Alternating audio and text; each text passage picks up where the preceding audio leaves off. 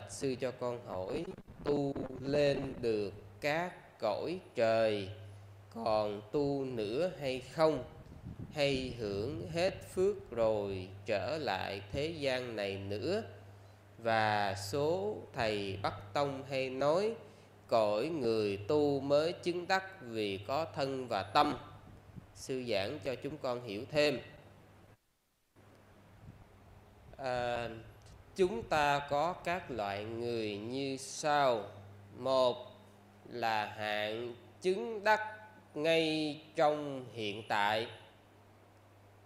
Hai là chứng đắc ở kiếp vị lai tức ở kiếp kế tiếp. Và ba là chứng đắc ở một kiếp à, xa xôi nào đó thì người chứng đắc ở kiếp hiện tại thì sư không nói. Nhưng mà hạng người chứng đắc ở kiếp kế tiếp là ví dụ như quý vị thực hành tứ niệm xứ một cách miên mật sau đó thân hoại mạng chung vẫn chưa chứng đắc được à, thì điều này được à, nói trong chú giải kinh trung bộ là nếu như quý vị thực hành tứ niệm xứ một cách miên mật mà cho đến lúc chết vẫn chưa chứng đắc được, thì chúng ta hoàn toàn có thể chứng đắc khi đi lên cõi trời và tiếp tục tu ở trên đó. Cho nên lập luận đi về cõi trời không thể tu chứng là một lập luận sai và đi ngược với lời dạy của thế tôn yeah.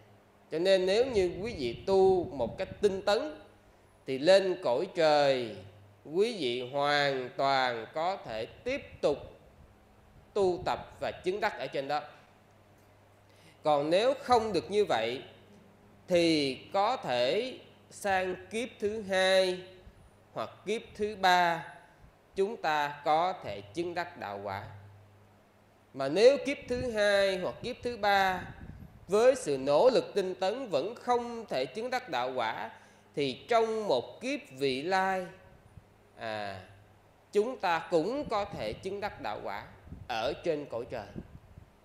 Nhưng nếu như vẫn chưa thể chứng đắc đạo quả thì chúng ta có thể chứng đắc đạo quả vào thời kỳ Đức Phật kế tiếp xuất hiện.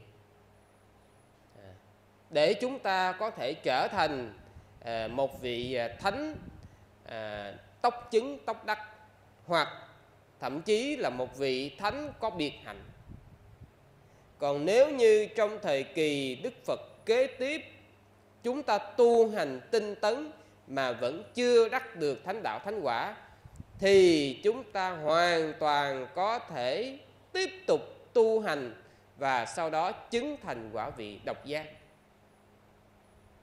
còn nếu mà chưa chứng được thì quý vị có thể tiếp tục tu hành để à, đi đến quả vị chánh đẳng giác cái đó tùy mình. Nhưng thường là chúng sanh sẽ đi đến quả vị độc giác và dừng lại ở đó. Là bởi vì tới nơi rồi. Cho nên là không phải lo là mình tu hành tinh tấn thì lên cõi trời có tu được nữa hay không. Xin thưa là có bởi vì á, báo cho quý vị một tin mừng là hiện tại trên cõi trời có hàng tỷ vị thánh thiên ở cõi trời. Quý vị lên trên đó nha thánh thiên đầy ở trên đó. Cho nên là mình không lo cái chuyện lên trên đó thì mình sẽ không tu được ha.